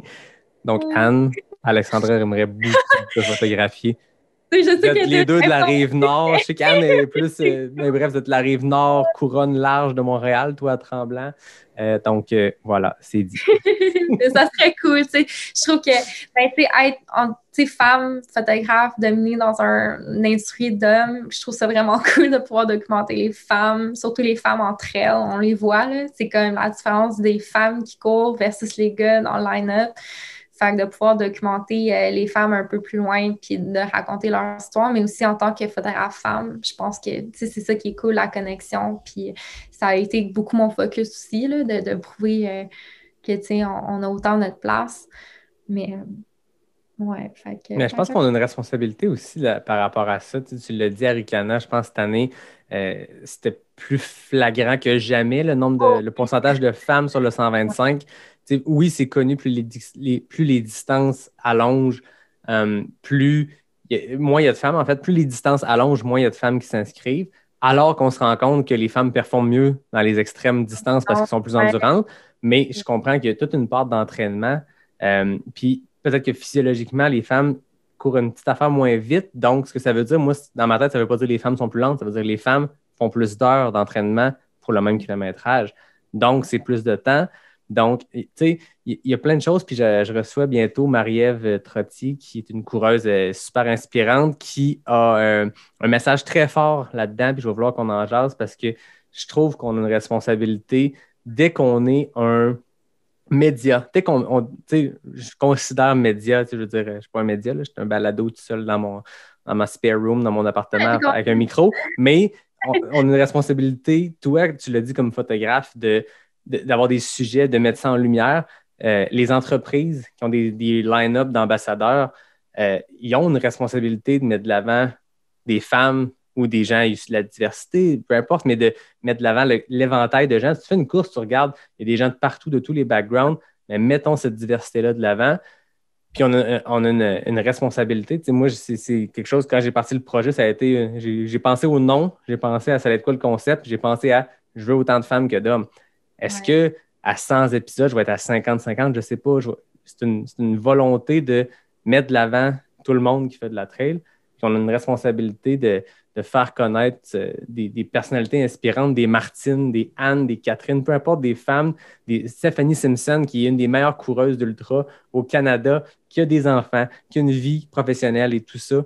Mettons ça de l'avant puis montrons que c'est possible, puis que s'il y a des femmes qui courent, puis qui auraient le goût de faire des longues distances, parce que c'est correct de ne pas en faire, c'est bon pour vos jambes aussi de ne pas en faire. Mais si vous avez cette volonté-là, ben ça se peut. Puis voici des femmes qui l'ont fait, puis je trouve que une- il y a une part de responsabilité, puis Ben dans une société comme la nôtre, il faut le faire. C'est ça, puis il faut juste dire, ben, tu sais, on est capable. tu sais, je te dis pas est capable. de, de courir un 50 kg demain si tu n'as jamais couru, mais si, tu sais, si c'est ce que tu veux faire, puis tu veux le faire, ben go, fais-le. Tu sais, ça. Tu sais, on dirait qu'il y a, il y a bien des années, ça fait quand même longtemps que je suis dans, dans les médias, puis souvent, euh, sais, tout le monde est comme, ah ouais, tu penses-tu vraiment que tu vas te rendre, euh, sais, à la hauteur de Alex Stroll, puis Chris Buckard, puis tout, puis j'ai dit, ben, ben si je pense pas dans ma tête, puis je pense pas, ben non. Mais pourquoi moi je pourrais pas? ben là, c'est vraiment dur, c'est vraiment dur, c'est la compétition, blablabla. Je suis comme, ben oui, mais comme pourquoi je pourrais pas le faire? Oui. Faut juste que je mette ma tête là-dedans, puis que chaque décision que je vais prendre, oui, ça va être en lien avec ce but-là. Fait que je pense que ça va aussi avec, euh, avec n'importe qui, en fait, que ça soit femme, homme, nationalité différente. On est tous Ouais. capables de le faire. Il faut juste le travail. Puis comme je reviens tout souvent de le dire, ben, la passion, l'authenticité, puis euh, euh, du travail dur, c'est sûr que ça va arriver. Um, Puis, tu sais, c'est- c'est quelque chose, c'est vraiment intéressant, les, les- le niveau femme-homme. Tu sais, oui, il y, a, il y a une différence de temps euh, souvent, mais ça me rappelle tout le temps d'une. euh, il y a quelques années, j'ai appuyer une compétition de, um, de, de, de kayak de rapide, là. Mhm. Puis, euh, il y avait la compétition, fait que hommes-femmes. Puis à la fin, au podium, les femmes gagnaient moins que les hommes. Comme la première femme a gagné vraiment moins. Ah, la bourse? Ouais, la bourse, puis Ouais. ça m'a vraiment frustrée.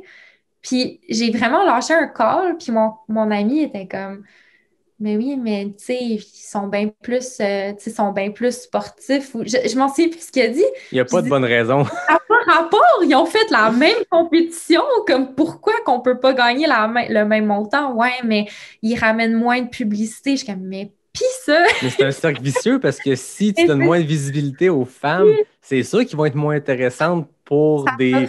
Tu sais, je veux dire, si le podium masculin, tu as 20 photographes, puis après ça, OK, merci. Ah, ben maintenant, on va faire le podium féminin, vite fait, bien fait, puis tout. Ben, c'est sûr que ta compétition, tu vas donner plus de visibilité aux, aux hommes, mais si tu donnes la même chance aux deux, ben après ça, tu, fais, tu as déjà de faire une petite coche de plus pour justement attirer des sponsors. Puis, non, exact, cet argument-là vaut rien. L'argument du l'attirance médiatique ou marketing, tu sais, c'est un cercle ah vicieux. ça, non, ça, ça, ça, marche pas. Ben non, c'est ça. Euh, tu sais, puis comme l'autre fois, tu sais, puis là, ça, ça date de, de 3-4 ans, mais j'ai fait une autre j'ai photographié une autre course, puis ils m'ont demandé d'être photographe. J'ai dit oui, est-ce que vous pouvez m'envoyer une photo? Je suis comme ben oui. Fait que là, tu sais, je me disais, ah, ils allaient annoncer les photographes. Mais en fin de compte, ils, ont, ils m'ont seulement annoncé parce que j'étais la seule femme photographe sur le terrain. Puis ça aussi, ça m'a choquée parce que j'étais ben comme, mais pourquoi? Est-ce qu'il faut qu'on vous donne un prix? Genre, ah, c'est ça. Vous avez engagé une femme photographe? Non. Comme... vous faire taper dans le dos, c'est quoi? Ouais, fait que c'est aussi, tu sais, j'aurais envoyé un message. mais pourquoi vous avez publié ça? Tu sais, je pensais que vous allez faire le line-up de photographe. Finalement, c'était juste pour dire que vous m'avez engagé puis je suis la seule femme. Tu sais, euh, je comprends pas. ouais, c'est ça. mais ça m'a, ça aussi, ça m'a frustrée. Puis je pense que oui, tu sais, on est dans un monde où que ça commence à changer. Puis euh, les gens commencent à réaliser que l'inclusivité, autant mentale, euh, physique, peu importe. um, il y a sa place, puis il faut juste euh, l'incorporer, mais, mais on a encore beaucoup de travail à faire. Mais mm. ça, ça s'en vient, puis je pense que, au lieu de dire de tous les problèmes qu'on a, c'est de focuser sur le positif aussi, puis de voir qu'on a des gens incroyables comme Martine qui est super inspirante, euh, Anne Champagne, euh, puis tout le monde qui est comme, tu sais, qui sont là, qui sont en train de faire le mouvement, puis de prouver que oui, les filles, on a notre place. Um, fait que, tu sais, moi, d'après moi, d'ici quelques années, ça va être vraiment intéressant de voir euh, tout ça. Exact. je pense qu'il y a des efforts à faire pour que ça devienne facile de plus faire des efforts. Tu sais, je sais pas si c'est bien dit, mais c'est présentement qu'il faut faire des efforts, puis pour mettre en place des choses pour que dans 5 ans, dans 10 ans, dans 20 ans, on ait pu en mettre, que ce soit juste naturel, ce qui devrait déjà être le cas. Tu sais. Puis la communauté des femmes euh, de plein air, ça commence, c'est vraiment beau à voir. Là. Euh, il y a les, chefs de montagne avec qui je travaille beaucoup. Il y a Filles de bois, que oui, aussi, eux aussi, je travaille avec. Donc, euh, ça commence puis il y a un beau mouvement. Puis, tu sais, j'avais une conversation avec une de mes bonnes amies qui commençait aussi un petit mouvement de femmes plein air. Puis elle avait dit, tu sais, je me sens comme s'il y a déjà trop de communautés, mais en même temps, non, il n'y a pas trop de communauté, il n'y en a pas assez. Non, non, c'est ça. Fais-le, go, puis pousse ça, puis sais, le plus qu'il y en a, le plus ça va inspirer aussi les filles de tous les jours. Tu sais, moi, je, reçois souvent des messages, tu sais, euh, je partage mes courses, puis les filles vont m'écrire, puis sont comme « Ah, oh, wow, je te trouve tellement bonne! Aujourd'hui, je suis allée courir, puis je me sens tellement bonne! » Puis c'est comme « Yes! » comme mhm. on est capable! Ah oui! Euh, tu sais, souvent, tu sais, ça, ça me. Sais, je reçois des messages aussi, ah, j'aimerais vraiment ça aller courir avec toi parce que mes amis, c'est des gars, puis je me sens moins, euh, tu sais, je me sens vraiment gênée de courir avec des gars, je cours pas assez vite, puis, tu sais, ça aussi, c'est comme, ben oui, on va aller courir ensemble, mais n'aie pas peur, comme, tu sais, ils vont t'attendre, on s'en fout. Comme, ouais, puis ça, c'est pas juste euh, un gars ou un fille, hein. moi, je courir avec des chums de gars des fois, puis pas vite, puis, tu sais, dans le sens que, ça, va au-delà de ça, puis il ne faut pas être gêné. Puis au contraire, je pense que c'est le fun d'aller courir avec des gens, que ce soit avec mes collègues dans, mon équipe euh, à la job, quand on pouvait, on allait courir ensemble. Puis c'était du monde de plein de niveaux différents, mais c'est le fun d'aller courir ensemble, puis de s'attendre où il y a une gang un peu plus rapide qui vont faire une petite boucle de plus. Puis il ne faut, faut, pas être gêné. Puis au contraire, je pense qu'on progresse en étant, euh, on progresse comme coureur ou dans n'importe quel sport, dans n'importe quoi, point. Je pense que c'est pareil en photo. Tu progresses en apprenant de gens qui ont un niveau qui, qui t'inspire, qui te donne le goût d'aller vers là, puis tu regardes comment ils font, puis il y a un ben, échange, il y a un partage. Hein. C'est un travail continuel, puis c'est comme, comme tu as dit, c'est une communauté, c'est du support entre nous, puis à la base, il faut juste pas voir ça une compétition ou du stress ou de comparaison. On est tous, on est tous dans le même bateau, on a tous commencé à quelque part, donc... Euh, puis on a tous quelque chose à apprendre. Tu sais, moi, des fois, je donne beaucoup d'ateliers photo. Fait Mais des fois, mes, mes, mes élèves m'apprennent des nouveaux trucs. puis, puis je, je le dis tout le temps à chaque, chaque fois que je donne un atelier ou que je rencontre des gens, je suis comme, tu sais, moi, j'ai j'ai autant à apprendre de vous que vous allez apprendre de moi. Fait qu'on va travailler ensemble, puis on va communiquer, communiquer, euh, communiquer ensemble. Puis euh, c'est comme ça que ça devrait être. Ah oui, exactement. Puis quand tu comprends dans la vie que tout n'est pas une compétition, parce que tout a tendance à être une compétition au travail ou dans les sports ou peu importe, quand tu laisses tomber cette pensée-là, ben, la vie est comme soudainement plus facile aussi quand tu n'assumes pas que tu es en compétition contre tout le monde, puis tu assumes que tu es là. C'est un état d'esprit à vivre personnellement. Puis je pense qu'après, ça peut aider aussi au quotidien dans n'importe quelle situation. Oui, exact. Avant de terminer, j'ai le goût de, te lancer une question que tu as lancée à tes abonnés sur les médias sociaux. Puis je serais curieux de t'entendre. Euh, quand c'était le jour de la montagne en décembre, euh, tu avais demandé à tes abonnés ce qu'ils aimaient, de la, ce qu'ils aimaient tant de la montagne puis ce que ça leur apportait. Je te relance la question. Qu'est-ce que euh, qu'est-ce que tu aimes de la montagne puis qu'est-ce que ça t'apporte?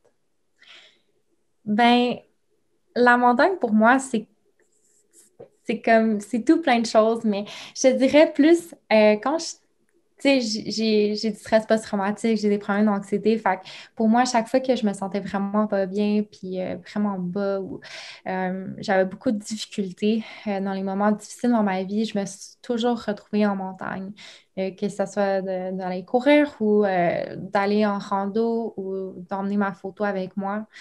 Um, fait pour moi, la montagne, ça m'apporte une forme de, de de calme, d'apaisement, mais aussi de thérapie, mais aussi un, un challenge. Parce que, tu sais, on, on, entend souvent le, la, la citation de, tu sais, il faut graver des montagnes pour comme passer ou il faut monter la montagne pour la redescendre puis passer à autre chose. Fait que pour moi, ça a tout le temps été un peu ça. Euh, ma vision des montagnes, c'est de pouvoir, euh, oui, ça va être vraiment dur, la gravir, c'est challengeant, ça va te tester, mais c'est que du bon. Puis arriver en haut, tu vas voir la belle vue, tu vas voir tout ce que tu as accompli, puis tu vas être contente de ça, tu vas être fière.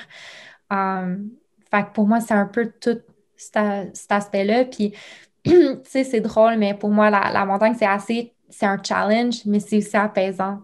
Fait que, comme, le nombre de fois que je monte le pic Johansson, puis, euh, tu sais, je, je suis, j'ai mal partout, mais en même temps, j'arrive en haut, puis, waouh, là, j'ai une faire 15 kilos. Tu sais, c'est cool, c'est un beau feeling, puis je me sens bien, mais c'est la même chose spirituellement un peu quand que, tu sais, je pense à ça, quand ça va vraiment pas bien, ben, um, tu sais, va rando, va faire quelque chose, mais retrouve-toi en montagne, puis tu vas juste voir, ça va t'apaiser autant que ça va te faire travailler. Puis, euh, oui, j'ai vraiment aimé cette question-là que j'ai demandé à mes, à mes euh, abonnés parce que, tu sais, j'ai tellement eu des belles réponses. Puis je pense que, tu sais, on, on, associe toutes nos montagnes à quelque chose. Fait que je trouvais ça vraiment euh, intéressant à poser comme question. Une portion à la fois euh, philosophique dans tout ça qui est, qui est le fun, puis la montagne, c'est exactement ça. Euh, puis quand, quand, ils disent qu'un ultra, c'est comme une vie, c'est un peu ça aussi. C'est qu'il y a des hauts et des bas. Puis dans un ultra, surtout quand tu fais le QNT 50, il y a des hauts et des bas. mais, mais on apprend de ça. Puis euh, euh, je trouve ça intéressant que, que tu puisses parler de ton expérience personnelle un peu sans tabou. Puis on parlait tantôt de, de, donner de la place aux femmes et tout ça dans, dans, les médias, dans chaque petit média, que ce soit un balado ou le téléjournal. Mais je pense que c'est pareil pour tout ce qui est santé mentale. C'est, je pense longtemps, ça a été un tabou, puis c'est un terme qui. Le, terme santé mentale, pour les gens, il y a encore l'espèce d'idée des films qui se passent dans des asiles et tout. Mais, non, mais santé mentale, tout le monde en a une, puis tout le monde doit en prendre soin, puis d'essayer de démocratiser ça, puis d'en parler comme tu le fais. Puis euh, je sais que tu t'impliques aussi auprès de l'organisme Dis-moi, et que, que tu en parles ouvertement. Puis je trouve que, en fait, je voulais juste te le dire que c'est inspirant de voir ça, puis que tu es courageuse de le faire, mais que c'est ça qui va faire le changement, c'est d'en parler sans tabou, parce qu'il y a un gros nœud à défaire dans notre société par rapport à ça. Il y a encore un gros tabou, puis tu sais, c'est comme les médias surtout, comme Ah, oh, il y a un tueur en série, il y a un problème de santé mentale. Fait que, tu sais, on est comme, tu sais, moi, je regarde ça, je suis comme, euh, moi, je veux-tu aller. Euh, faire quelque chose de pas bon? Non, là, mettons, je suis correct. Puis, euh, dans le fond, moi, c'est ça, moi, je suis avocate en santé mentale. Écoute, um, ça fait depuis que je suis née que j'ai des troubles en anxiété, puis le stress post-traumatique, ça a été vraiment difficile pour moi de m'en passer. Puis longtemps, j'en parlais pas aux gens. Je gardais ça tout en dedans de moi, mais quand j'ai appris d'en parler, c'était bien. Puis que oui, j'ai assez de un gros following pour que les gens m'écoutent puis qui essaient de comprendre. Pour moi, c'est comme, OK, oui, je pourrais avoir plein de followers, mais si je prends pas le temps de de parler un peu de ce tabou-là, ben, à quoi ça sert d'avoir autant de following, comme il y a, faut, faire, faut faire quelque chose, puis, fait pour moi, d'en parler, oui, c'est vraiment difficile, puis je me le fais demander souvent, ou je me le fais rapprocher souvent, ah, tu devrais pas t'ouvrir autant. Um, puis non, puis j'ai tout le temps la même discussion avec ces gens-là, puis je dis, si je m'ouvrais pas, comme les gens autour qui se sentent un peu comme moi, qui ont peur de s'ouvrir, comprendront pas, puis se sentiront seuls. Puis la santé mentale, c'est vraiment ça. Souvent, les gens qui souffrent de problèmes de santé mentale, ils se sentent incroyablement seuls, même s'ils savent qu'ils ont une famille, qu'ils ont des amis, c'est souvent ça, c'est un cercle vicieux. Fait que de savoir qu'on n'est pas seul, um, c'est ça qui est important. Puis, um, fait que c'est un peu comme mon advocation, genre de pouvoir... Euh, m'ouvrir sur ça puis dire que oui, il y a encore un gros tabou, il y a beaucoup de travail à faire, um, mais de raconter mon histoire puis aussi de partager mes, mes trucs, comment je fais pour m'aider, c'est vraiment intéressant. Puis, tu sais, les statistiques canadiennes, c'est que 1 sur 4 vit avec des problèmes de santé mentale. Puis sur ce statistique-là, seulement 1 sur 3 reçoit l'aide nécessaire. Fait qu'il y a un gros pourcentage de gens au Canada qui ne reçoivent pas les, les, bonnes thérapies ou les bons, euh, programme pour leur aider. Fait qu'il faut vraiment commencer à bouger les choses puis de se dire, ben, OK, là, il y a un manque incroyablement de fonds en santé mentale. Fait que la prochaine fois que je vais donner un don, ben, je vais le faire pour ça. Ou, euh, tu sais, s'il y a des athlètes qui veulent faire des courses, ben, euh, tu sais, peut-être faire un aspect sur ça, surtout avec tout ce qui se passe avec la COVID. Euh, oui, c'est vraiment particulier ce qu'on se passe cette année, mais le nombre de. Puis je me suis renseignée, puis le nombre de suicides qu'on a reçus depuis la COVID, c'est incroyable, ça fait vraiment peur. Fait faut commencer à en jaser, puis pour que ça change, il y a certaines gens comme moi qu'on doit devenir un peu inconfortable à en jaser pour créer un awareness, pour justement faire bouger les choses, puis se dire, bon, ben écoute, il euh, um, faut le faire. Puis oui, tout le monde a une santé mentale. Puis tout le monde vit des bas et des hauts en santé mentale. Tu n'es peut-être pas diagnostiqué euh, trouble personnalité aiguë, mais tu vas quand même peut-être avoir un épisode de dépression dans ta vie. Euh, on, on, connaît tout, soit nous ou quelqu'un dans notre entourage qui a vécu avec ça. Fait c'est simplement être aware of that puis voir comment on peut avancer les choses. Ouais c'est à ton honneur de, le faire, puis d'avoir cet espoir-là que ça change. Puis je pense que ça prend plus de gens comme toi qui le font. Puis il faut en parler, tu sais, comme tu le dis, en ce moment, la COVID fait peut-être euh, mettre le spotlight un peu plus sur cette situation-là.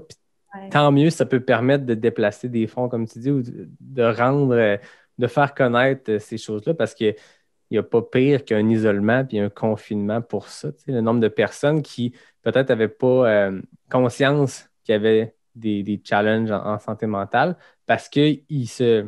J'aime pas le terme saouler, mais tu sais, dans la vie de tous les jours, tu as le travail, tu as la course, tu as plein de patentes, puis tu, te saoules à travers tout ce qui se passe, puis ça fait que tu pas besoin d'y penser, puis c'est correct. Peut-être que c'est une bonne façon de le vivre.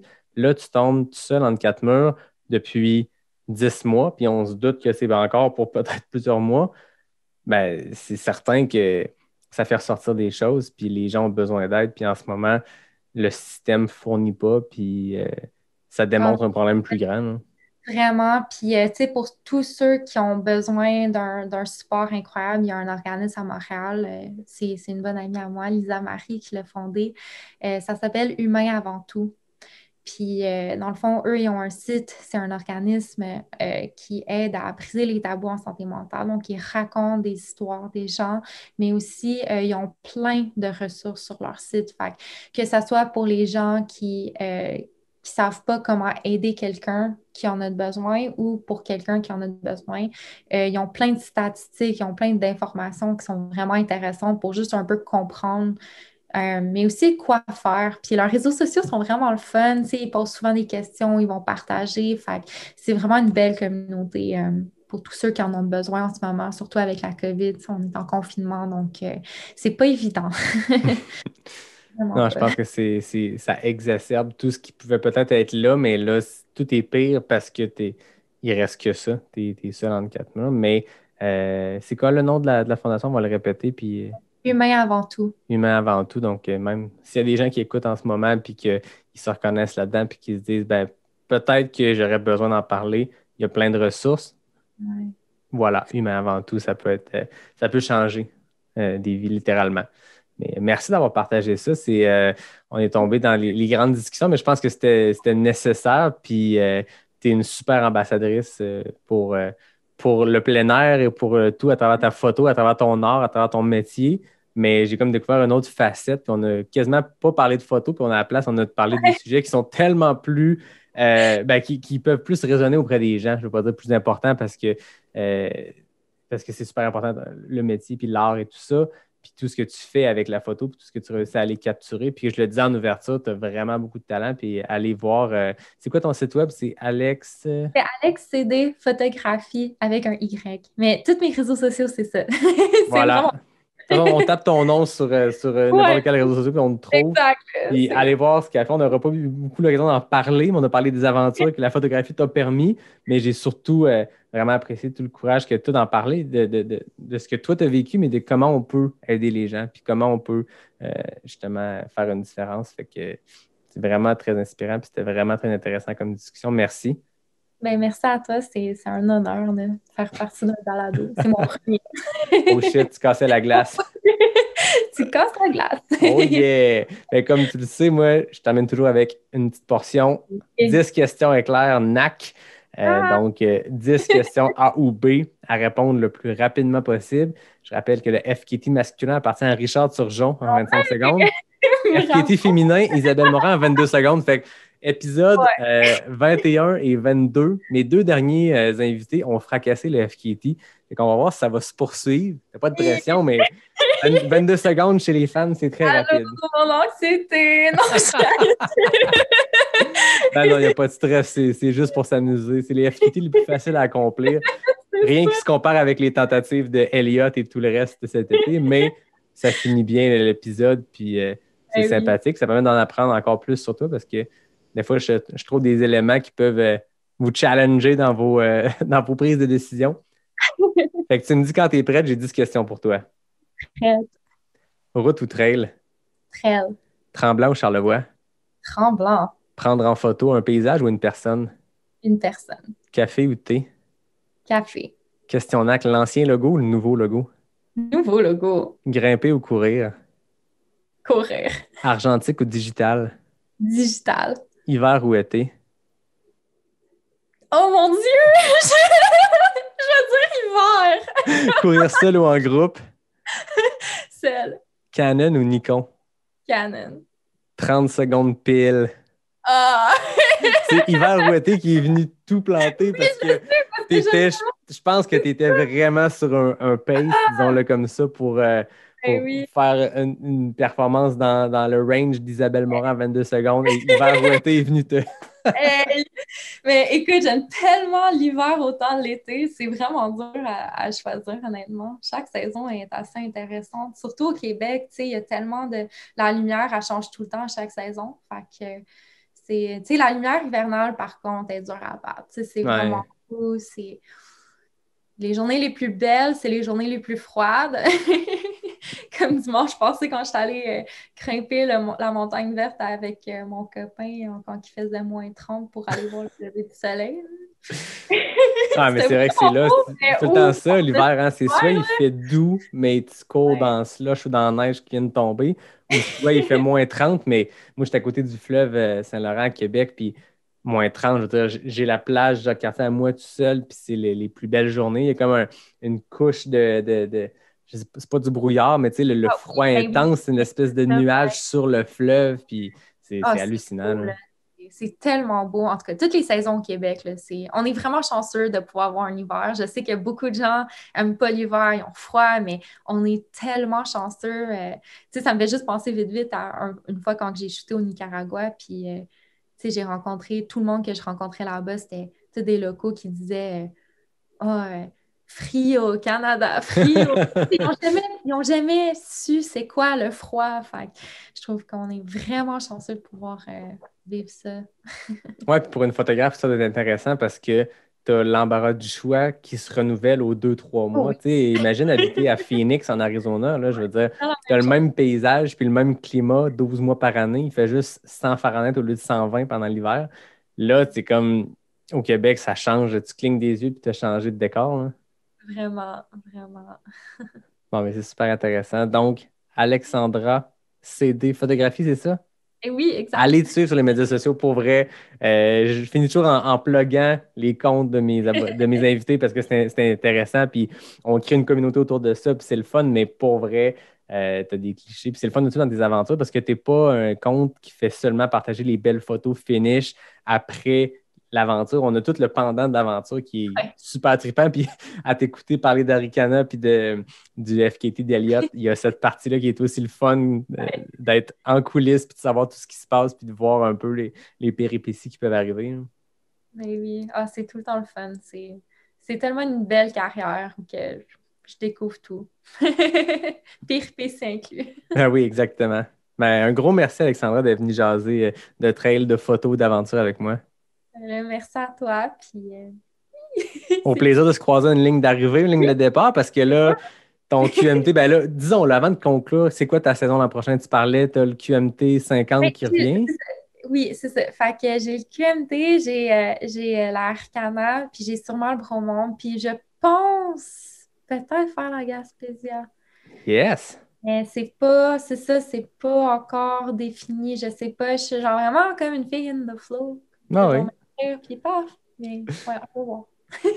La Gaspésie, c'est beau. Moi, je l'ai faite il y a deux ans, surtout en crew, mais... Puis j'ai entendu tellement des bonnes choses. Mm. Puis elle est quand même facile. Ben, pas, elle est pas facile, mais quand même le fun, puis elle est quand même accessible à faire. Fait que je trouvais ça vraiment intéressant. Puis euh, c'est sûr que le classique Salomon à Tremblant, euh, c'est ça, Tremblant, c'est mon... C'est les sentiers que je cours à chaque jour, presque. Donc... Euh, que je vais le faire. Ah oui, c'est clair. C'est, je pense que c'est 30 kilos le plus gros. Ouais. C'est une bonne euh, c'est un bon week-end choc, le 30 kilos. Des fois, c'est le fun de faire des événements. Pour, pour l'aspect communauté, tout ça, mais ben, des fois, de faire des événements en build-up pour autre chose, euh, c'est, toujours bien très ben aussi. juste de courir dans ton sentier local, puis euh, je cours tout le temps. c'est le fun de pouvoir OK, go! Ah oui, c'est clair. Ben, au plaisir de se voir au QMT, à Ricana, peut-être en Gaspésie. Moi, je vais être à Bromont aussi. On a comme les mêmes courses, fait que ça sera l'occasion de se croiser. Puis, euh, de jaser en vrai plutôt qu'à distance. Hein. chien avec moi. Ben oui, exactement. Il était calme. Finalement, on ne l'a pas entendu de l'émission. À ceux qui font juste l'écouter sur Spotify ou peu importe, il y avait un chien présent dans le cadre de caméra toute l'entrevue, puis on ne l'a pas entendu. C'est un bon chien. Oui, très bon chien. Un gros merci, Alexandra. Puis merci à tout le monde qui nous écoute euh, semaine après semaine. Euh, c'est trippant de vous lire, c'est trippant de vous voir euh, réagir à mes invités. Puis je pense que cet épisode-là va faire réagir. Pour vrai, c'est un, gros coup de cœur, en tout cas, pour, pour l'animateur. J'espère que ça le sera aussi pour les auditeurs. Mais c'était vraiment une super discussion. Puis un grand plaisir de te parler, Alexandra. Merci beaucoup. Merci à toi encore une fois. Et à tout le monde, je vous dis à bientôt pour un prochain épisode de Pas sorti du bois où je recevrai pour la première fois un duo. Donc, je reçois Joanie Desroches et Julien Lachance, un couple de coureurs, de triathlètes. Donc, c'est un spécial quasiment Saint-Valentin. Ça va sortir le 10 février. C'était pas prévu, mais on s'est rendu compte, hey, un couple à Pas sorti du bois le 10 février, c'est quasiment concept. Donc, surveillez ça pour l'épisode 24. Puis, euh, merci Alexandra, merci à tout le monde et à bientôt tout le monde. Bye.